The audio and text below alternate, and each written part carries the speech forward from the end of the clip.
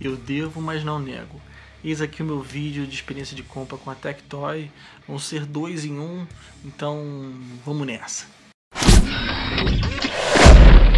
Oi, eu sou Isaac, seja bem-vindo ao Be My Frag, onde o gameplay é inteligente. Meu canalzinho aqui no YouTube. Bom, eu tô devendo esse vídeo ó, faz bastante tempo porque eu participei da pré-venda do Mega Drive, né, dessa nova versão, e não fiz o vídeo da experiência de compra, fiquei devendo. E agora eu participei de outra pré-venda, que foi a pré-venda do cartucho da Toma da Mônica na Terra dos Monstros. Então vou fazer aqui, botar tudo junto.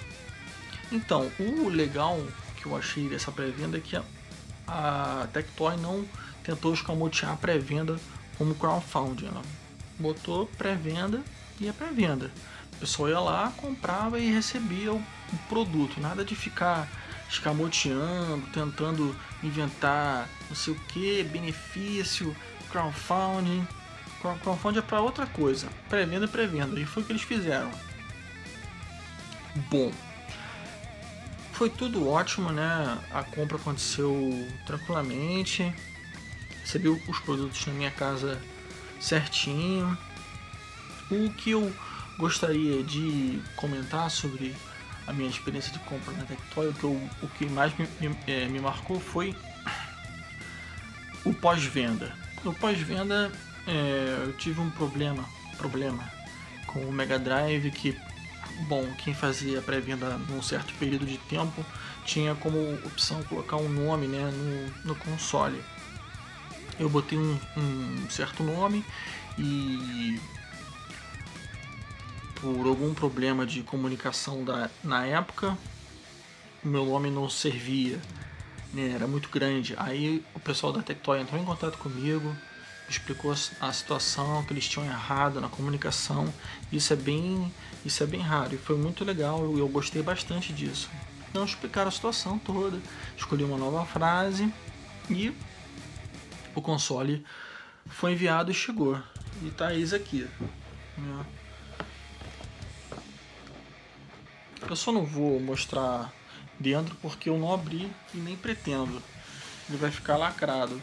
A única diferença que eu senti muito nisso aqui é que na época, na minha época de enfim, na infância, essa caixa era bem pesada, cara.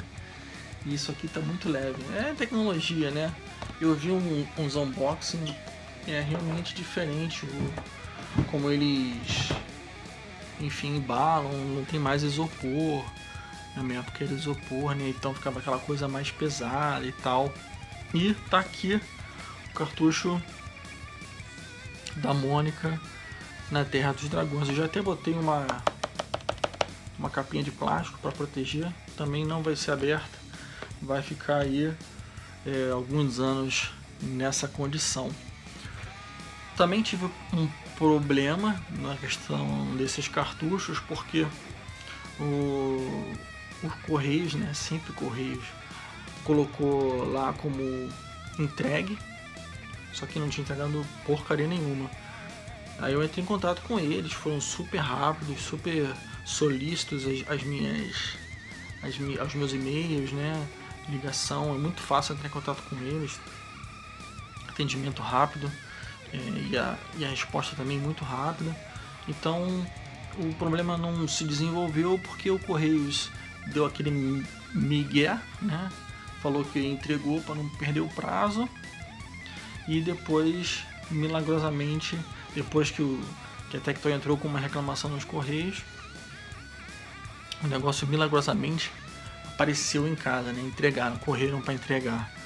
Mas é isso. Eu deixo aqui a minha recomendação. Se você tem interesse em comprar alguma coisa da Tectoy, faça porque eles são muito bons, né?